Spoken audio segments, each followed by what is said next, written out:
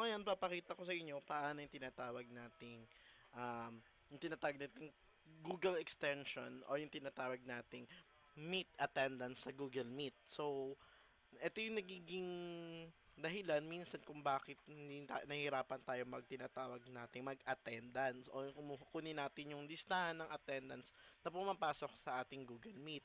So, unang-una, kailangan natin ng Google app or na tinatawag natin Google Chrome. So, dito, naka-open na Google Chrome ko and makikita nyo is yung aking Meet na. Okay? So, unang-una, kailangan nyo ng tinatawag nating extension. So, paano ba natin malalaman kung may extension tayo? So, punta tayo dito. So, ayan, customize and control Google Chrome. Makita nyo sa upper right. And, upper right upper ano upper right corner ng ating screen makikita nyo yung tinatawag nating um, setting. So then more tools then punta kayo ng extension. Kung makikita nyo sa extension natin makikita nyo wala akong nakalagay. Pero may default na tayo ang tinatawag nating Google Slide, Sheets at Docs. So gusto na ang gusto natin dito mag-add tayo ng tinatawag nating extension app. So paano po ba? So una kailangan nyo muna mag-search sa Google. For example, so search tayo sa Google, lagay natin dito is meet attendance. Yan. So meet attendance. So, yan. So, ha, pili lang kayo dyan. So, tick natin itong meet attendance. Yan. So, makikita nyo yung web, ang Chrome Web Store. Then, makikita nyo itong, ito mismo. So, ito yung mismong ginagamit ko So, just add Chrome nyo siya. Pindutin nyo tong add Chrome, then add extension. Kung mapapansin nyo, nag-checking lang siya, then may lalabas din sa upper din siya. So, ayan, meet at has been added to your Chrome, and so on and so forth, etc. So, turn sync lang yan para sa lahat ng ating ginagamit, ano. So, or link nyo lang yan.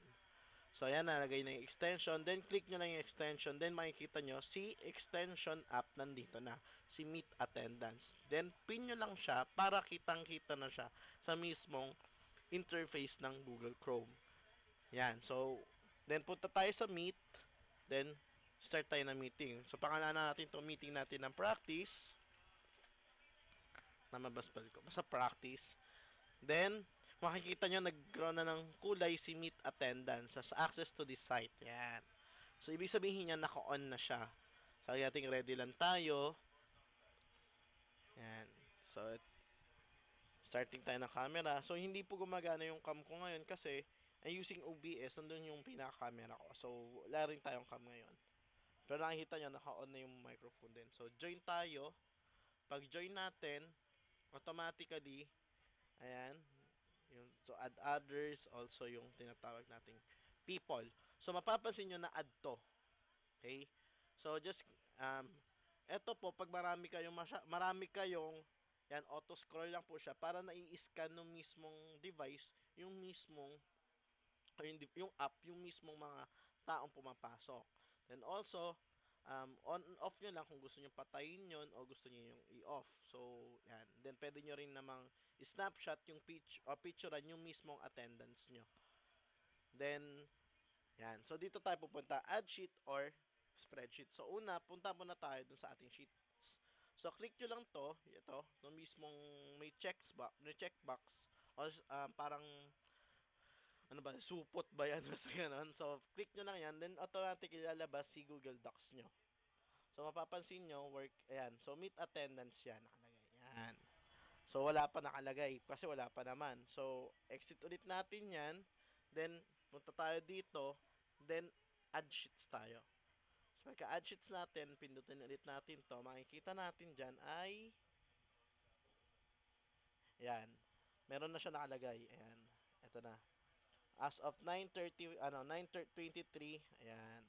So wala pa kasi wala pa naman pumapasok. So pakita natin um, na may pumasok na. For example so ano yung ating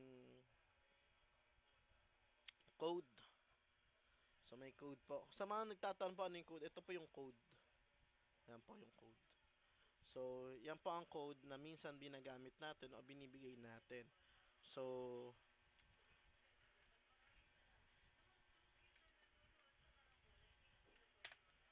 so joining tayo ng isang account. Join tayo. Ask to join. So, nakita natin, someone is um, joining. Yan, off lang natin to. Yung kanya microphone. Yan. Ba't naririnig pa rin? Oo, kasi ano. Ayan. So, ngayon, makikita natin ito, yung ad sheets. Ah, so, punta natin dito. Ayan na siya. Pumasok na. So, anong oras ako kung nag-join, then anong oras ako akong aalis.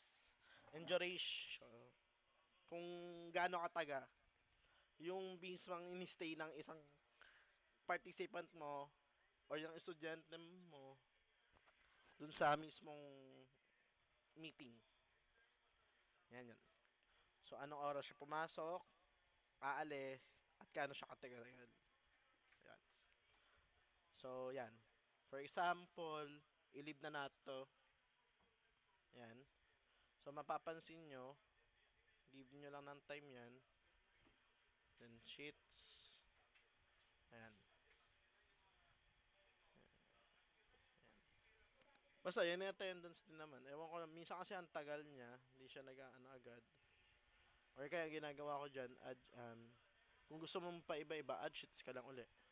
So, mapapansin mo, may, may additional isa pa siya uli. Minsan tagal niya lang talaga lumabas. Pero yan, nag-ano naman yan. Ang maimportante lang naman dyan, alam mo, sino yung sumali, anong pangalan niya. Dito kasi ang ginamit ko kasing default name doon is yung GTV. Yan. So, ito yung oras siya pumasok. So, yan po yung pinaka ano. So, ganyan po ako mag-check ng attendance. So, marami pa pong apps sa ating extension na pwedeng ano, meron tayong tinatawag na Google Meet Grid, meron tayong meet, ah, Google Meet Attendance, Google Meet Attendance, isa pa. So, iba-iba yan, marami yan. So, it's up to you as a teacher paano anong gagamitin mo. So, ito kasi, ang pinaka gusto ko dito, um, pwede kang um, gumagamit siya ng Google Sheet. So, once na kinilik mo, lalabas agad. Yung ganun din yung iba, kaso, yung iba ginagawa niya, nag, um, bigla siya mag, um, parang ka may da-downloading, may mag-auto-download siya ng Excel. At yung Excel mismo ipapakita niya sa'yo. It's just the same, kasi Sheets and Excel is just the same. Magkaiba lang sila ng mismong produkto. Pero ganun din naman yun. So, yun lang po. Salamat po sa mga nakinig and don't um, don't forget to like, share, subscribe po. Salamat po.